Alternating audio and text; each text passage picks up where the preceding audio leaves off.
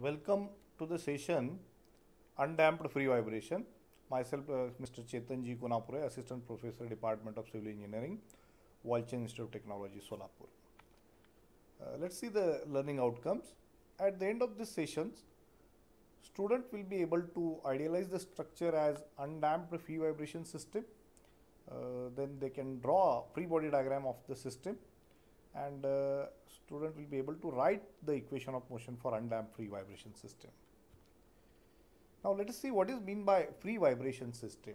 Now one example is shown here, the example of simple pendulum. So this is inextensible string and mass is lumped. So uh, this is the vertical line which is representing neutral position of the pendulum. Now whenever the initial displacement is given to this pendulum, it will start to oscillate. So during vibration of this pendulum, no force is acting. That's why it is called as free vibration. But for free vibration, initial displacement is required to be given. So this is free vibration system. Now, what is idealization of the structure? Now, all the structures or real physical system is a continuous system having distributed mass and elasticity. So, following are the assumptions for idealization of the building or structure. Now, for a building in a story, total mass of story is concentrated at its floor level. This is the first assumption made. Means this is lumped mass system. Now, girders or beams in a building are infinitely rigid. That is the second assumption made in the idealization. And third is effect of axial forces are neglected. It may be in beam or it uh, may be in column. All if, uh, effects of axial forces are neglected. Now, the second assumption girders in building are infinitely rigid. This is made uh, because axial deformation of girder are not considered here. That's why if uh, the girders are infinitely rigid, then uh, there will not be any axial deformation in the girder. Now, this is real life uh, structure. This is a single story frame. So, in this frame, uh, the mass of this story is lumped at floor level. This is the first assumption. Then girder is infinitely rigid means this girder is infinitely rigid. That's why there will not be any axial con contraction or expansion. That's why both the columns will deflect or deform with the same profile.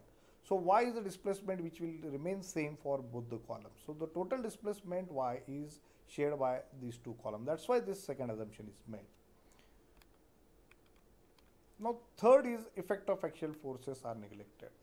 So axial forces are neglected means the axial deformation of the column that is not considered that is also neglected. That's why the deflected profile of the column will remain same for both these two columns.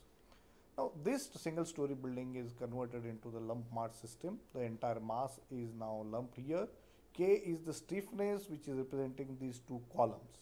Y is the displacement at top of this system. Now this lumped mass system is converted into the conceptual model. This is also called as wagon wheel model. So this mass is wagon wheel. It is connected to the base by means of the spring. So spring is uh, representing the stiffness of columns. Okay. So single story frame is lumped mass system and again it is conceptually modeled in this way.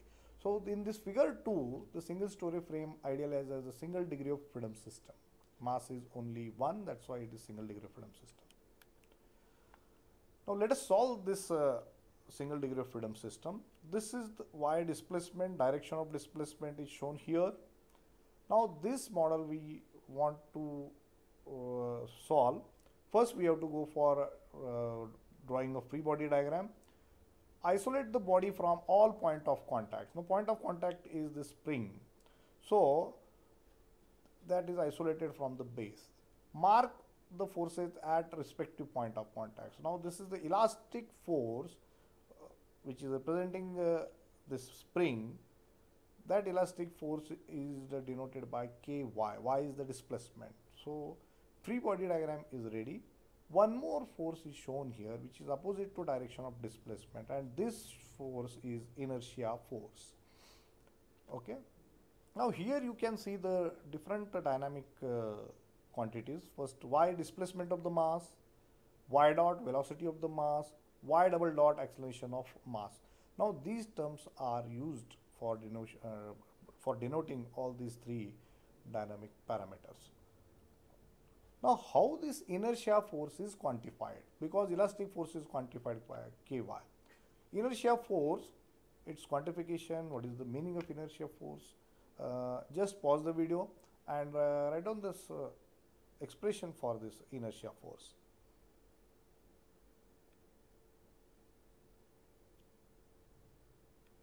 Okay. Now, inertia force always acts opposite to the direction of motion.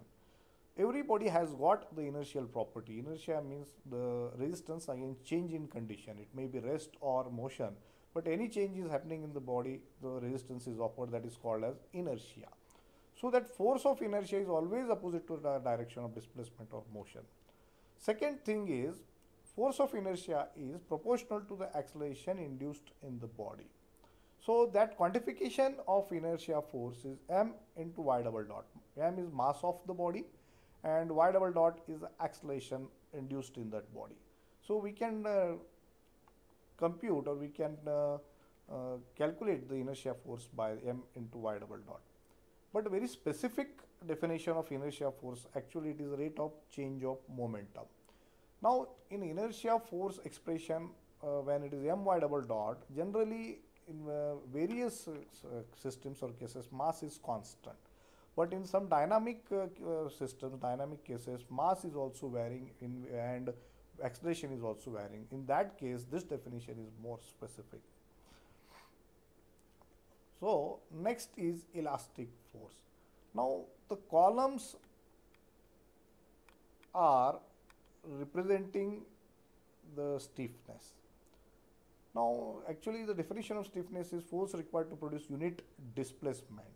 Now these two columns are offering the elastic resistance. So that elastic resistance is entirely dependent upon the displacement y. So resistance against the deformation is actually elastic resistance or elastic force.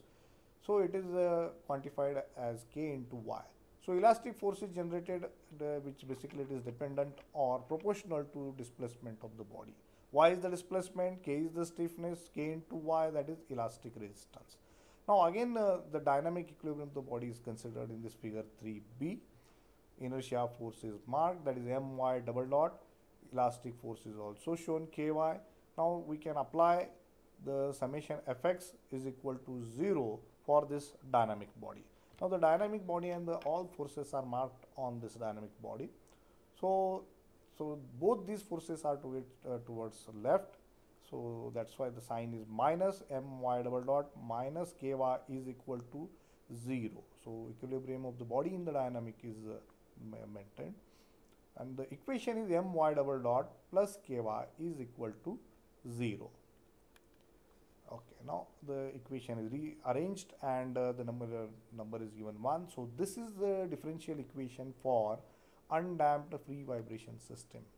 So even this is mathematical model of the single story building which is which was idealized as a single degree of freedom system so whenever we observe this equation we can uh, say that the equation is representing mathematically for undamped free vibration system now what is the differential equation it is? What is the type of this differential equation? The order of this equation is uh, second, you can see here. This acceleration quantity which is present in this equation. Uh, so my double dot, this is second order uh, term which is present in this equation. You can see here. Next is the elastic resistance. Summation of inertia force and elastic resistance in the body that is maintaining the equilibrium. This is the meaning of this equation. Now right hand side of this equation is 0. That's why the type of differential equation is homogeneous equation. Now the order of the equation is 2 and the right hand side is 0 that's why it is homogeneous. So this differential equation is second order linear homogeneous equation. So the single story frame, single story building is conceptually idealized as a wagon wheel model. Then mathematically uh, it is idealized by this equation. So This second order equation, homogeneous equation will be solved with the several methods and y displacement is determined for that system which is the displacement of the structure. These are the references which are uh, used for the above session. Thank you.